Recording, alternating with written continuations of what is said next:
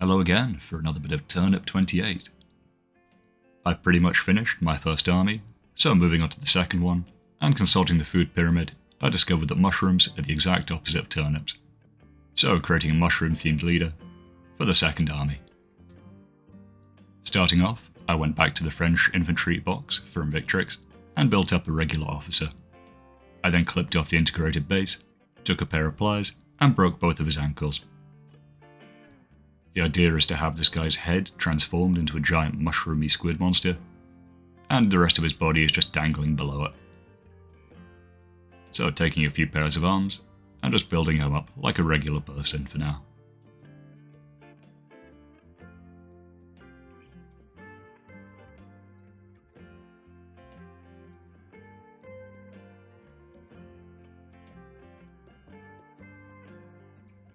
Next up, I grabbed some armature wire and started creating the shape of the squid, beginning with several lengths of wire for the legs. Then taking each piece of wire and bending it to a nice shape.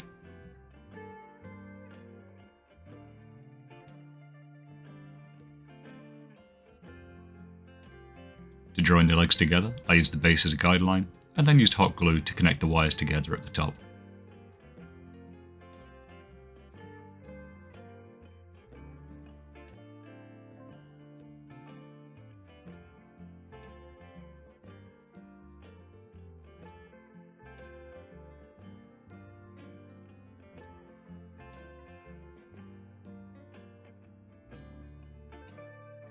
This is about the right height, once you factor in the large growth above it. Grabbing some superglue, I then connected it to the base.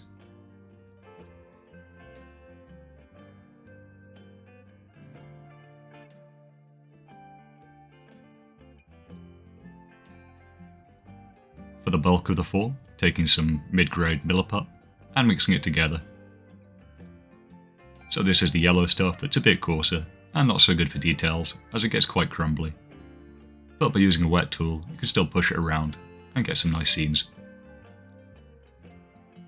Taking different balls of the putty and just sticking it on top of each other.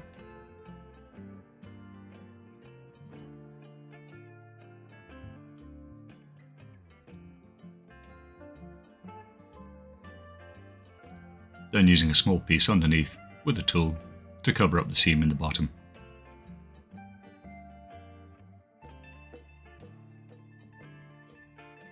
While still malleable, I push a slight indentation of the figure in, so it would have a bit more area to grab it when I glued it in, which I did when it was fully dry.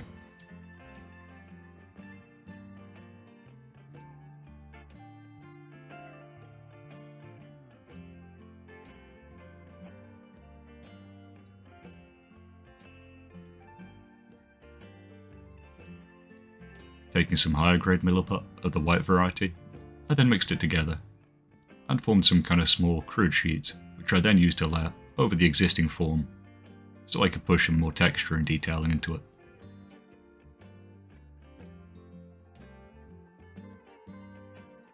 Taking a few sculpting tools with different shaped ends, I went around and started poking various bits of detail into it. To get some kind of lines around the edges of the bulk shapes, as well as some kind of furrows and holes as well. Because it's a kind of horrible fungally mass, you can really just kind of add any shape and texture you want, and it'll look about right.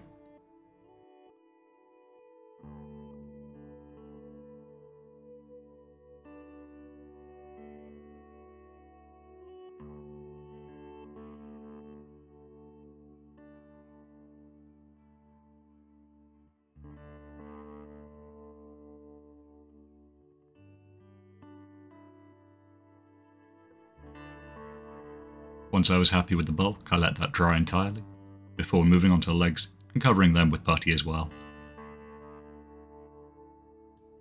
This is where it's a lot easier to let a section be dry entirely so you can then use as a handhold, and you don't risk losing any of the detail you've put on already.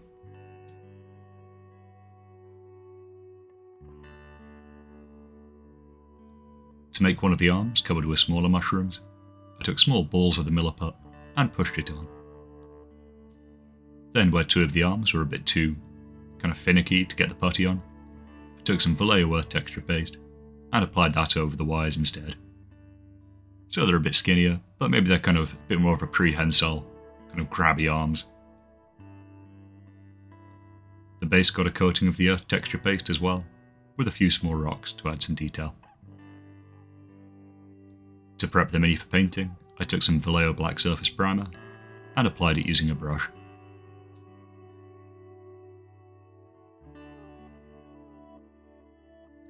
For the paint scheme, I layered up some dark browns and greens, working my way up to a beige colour, while painting his uniform in a very typical Napoleonic style, with a blue and red jacket, with light coloured undergarments.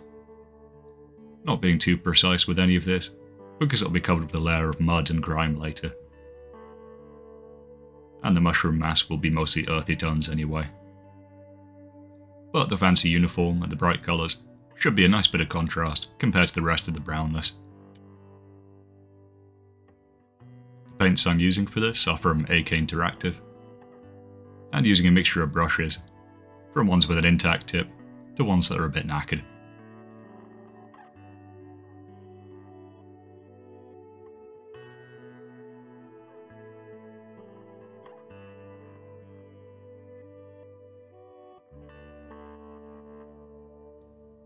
On the top of the mushroom, I used a few watery, thin coats of paint, so it all blend together, and you get a bit of transparency where you get the green and the browns all kind of merged together.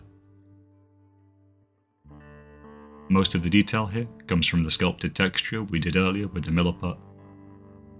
So going in with a few dry brushy type motions, just to pull up the edges and make them pop. Here is where I think maybe painting the button mushrooms brown maybe not the best choice, because it does look a bit like something else. But that's also kind of Turnip 28, so let's run with it.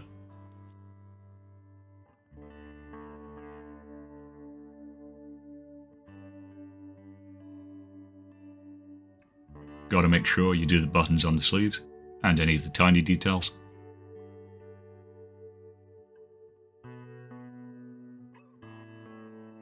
Then once it's nice and bright, you can go in with a layer of brown and apply a nice amount of dirt and mud over the Mini. Finally, going in with a watered down Tenebris Grey and using it as a glaze over the Mini.